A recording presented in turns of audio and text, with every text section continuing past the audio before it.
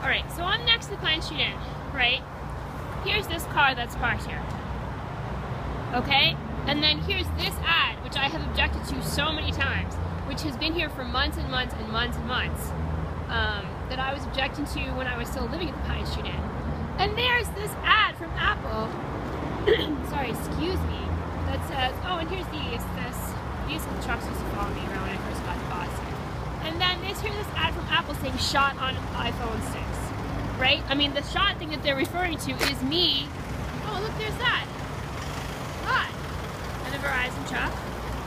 Um, yeah, you know, which is re referring to me getting shot with hypodermics in a mental hospital after I was getting harassed all morning and then people like pretending that they have they have no idea what I was talking about. And yet look, look at it all right here.